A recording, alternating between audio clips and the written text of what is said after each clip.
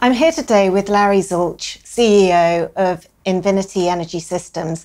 Larry, thank you very much for joining us today. So can you tell us what does Invinity Energy Systems do? It's good to be with you, Tamsin. Invinity Energy Systems makes large-scale energy storage. We store energy generally created by renewable power, solar, wind, tide, and make it available when those are not operating.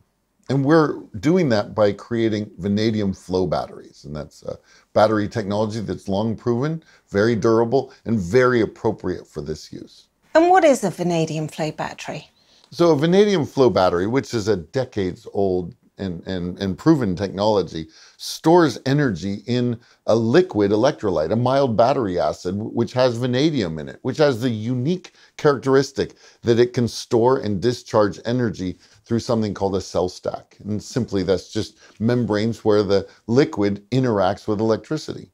And the advantage of it is that because the energy is stored in the liquid tanks, and the cell stack is separate, we're able to have a tank holding enough electrolyte to be appropriate to the needs, and the stack with enough electrical capability, enough power capability appropriate for those needs. So this, this keeps things in some sense disconnected. Vanadium is an element. It's very, very stable. It doesn't wear out. In fact, at the end of the lifetime of a vanadium flow battery, the vanadium electrolyte is still perfectly good. So we're able to have a battery that meets all the requirements for utility grade storage. It's safe. The electrolyte is water based, so it'll never catch on fire. It is long life. It doesn't wear out. We all know lithium ion batteries in our cell phones or cars, wherever they wear out over time. Not so in this case. And third, economical. Because they last so long, then the use of the battery over that period of time is very inexpensive per unit of power that's stored and discharged more than any other on the market right now. And that gives us some tremendous advantages for anyone looking long term at a project. They're saying, ah, this is the most economical way to do that. And increasingly, people are realizing we're going to be using renewable energy for decades to come. Let's have our infrastructure support that.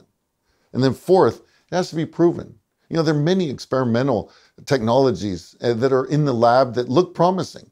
But until they're turned into a product, until they're actually sold as a standard product into a project, they're unproven and they can't be part of our energy infrastructure that we depend on. So, in terms of your competition, both in vanadium flow batteries and more broadly in energy storage, who are they? Well, we have a number of competitors, as we might call them, in vanadium flow batteries. In truth, though, we support them. Across the market, we want to see vanadium flow batteries be acknowledged as the most important alternative to lithium systems.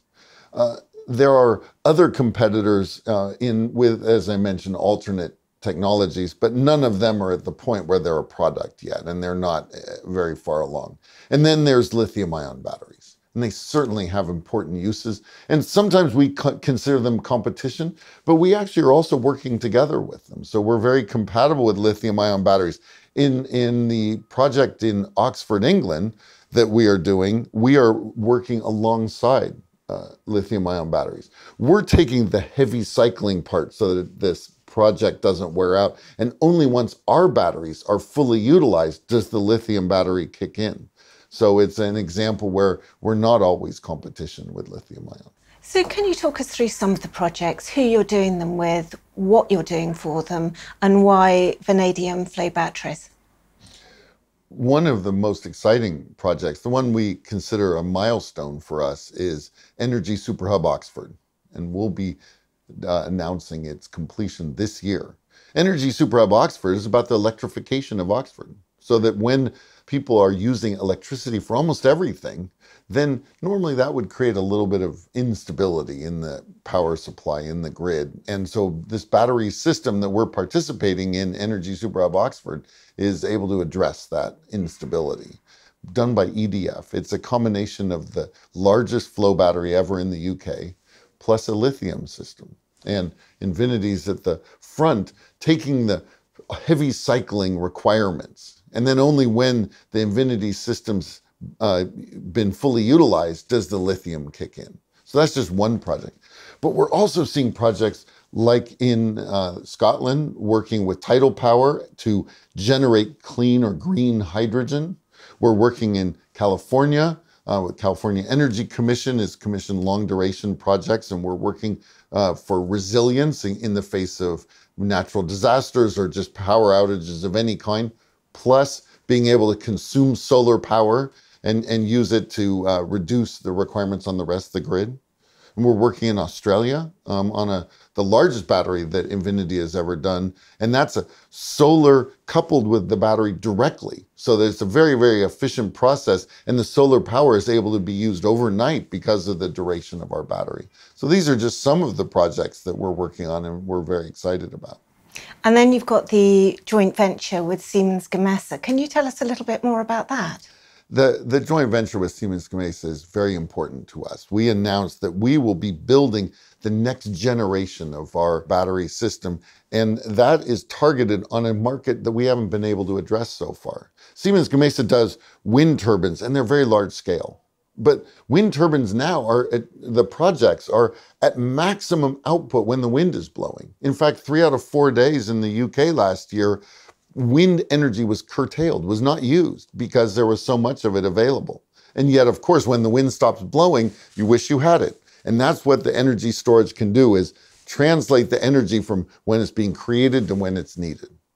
So as Siemens Gamesa looked around at energy storage, they realized that lithium batteries were not going to meet their needs. They, the, the constant cycling of wind just wears them out too quickly other battery technologies weren't sufficiently advanced to support what they wanted to do, but vanadium flow batteries could. But this is a new scale for us. It's a new market segment. We justifiably were proud of 20 megawatt hours that we announced last year. The smallest project that we envisioned coming out of the joint development with Siemens Gamesa, 200 megawatt hours. So this is of, an, of a scale that we haven't seen before. And it's a two year development process before we come to market with the first product. So this is something that we're actively working on now. We have teams that work on it now, and we're very excited about the progress that we've been making. And Siemens Gamesa are huge. So you see this, I presume, as a very long term partnership.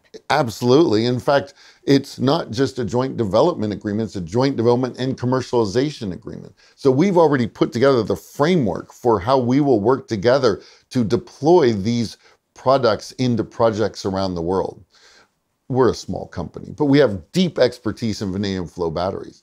Siemens Gamesa has a very, very broad worldwide footprint with people all over that are able to support uh, the kind of work that we need to do together. So that's a great partnership that we're looking forward to.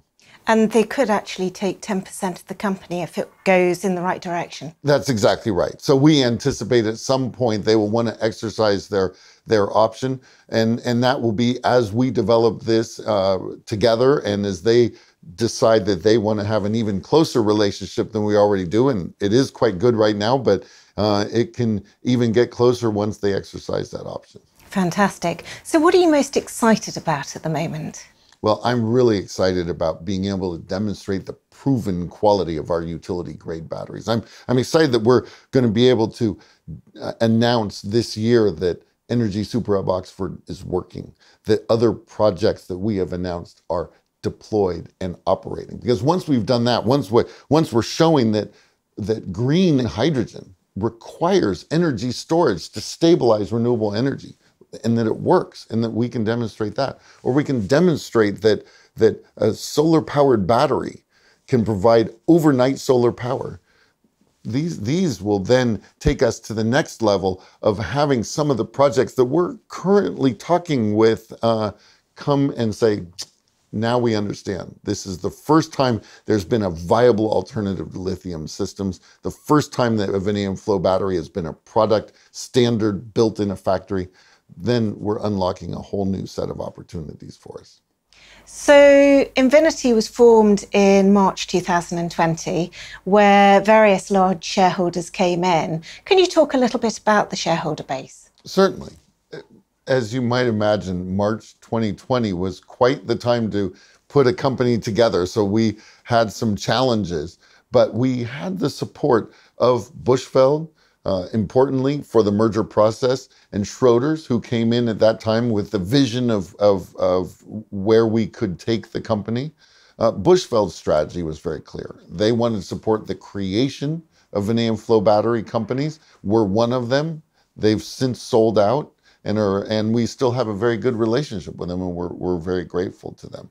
Schroders has continued to support us and, and was part of the placing and has even acquired some shares since it's been announced. And that's because they see very clearly the opportunity for stationary energy storage in the larger market and an alternative to lithium. And the Invinity is in a leading position there. So we're grateful for their support and other institutional shareholders who came in in the placing and are patient with us as we go through the development phase.